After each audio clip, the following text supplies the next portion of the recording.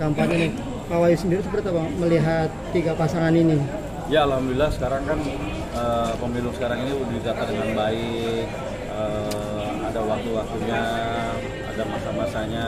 Ya mudah-mudahan berjalan dengan baik, dengan fair.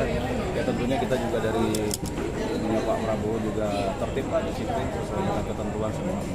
Melihat Pak Prabowo seperti apa? Aura kemenangannya udah terlihat belum sih? Kalau mudah-mudahan kita sebagai kader pokoknya tugas memenangkan Bapak Prabowo untuk jadi presiden. Hmm, Melihat survei dan antusias pendukung seperti apa? Begitu tinggi nih Pak. Ya alhamdulillah terima kasih eh, dengan adanya hasil survei sekarang yang eh, naik gitu.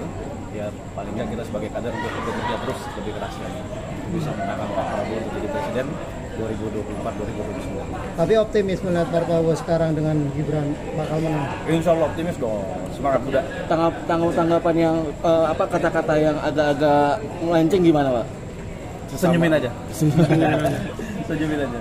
Pak jargon gemoy gimana sih Pak? Gemboy bagus dong, gemboy dong Wah, keren. Udah tahu goyangnya, goyang gemboy. Iya. Iya, top lah. Viral lah, Pak, ya? Viral alhamdulillah. Makanya mudah-mudahan eh, ya kita kampanye positif aja. Kan untuk kebaikan bangsa dan negara masyarakat Indonesia. Pak Wahyu kenapa harus memilih Prabowo Gibran menurut Pak Wahyu nih?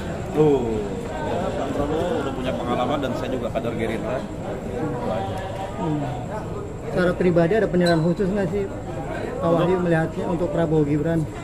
Ya Pak Prabowo sosok yang berpengalaman. Eh, beliau juga latar belakang militer dan juga sekarang pemerintahan bekerja juga dengan baik, punya nilai kinerja yang baik. Dan Mas Gibran juga sosok anak muda yang eh, energik, cerdas dan juga eh, ya benar-benar merakyat ya, bumi itu aja mudah-mudahan bisa mewakili semua eh, kalangan muda. Sip. Oke. Thank you, makasih ya. Makasih ya. Urusan.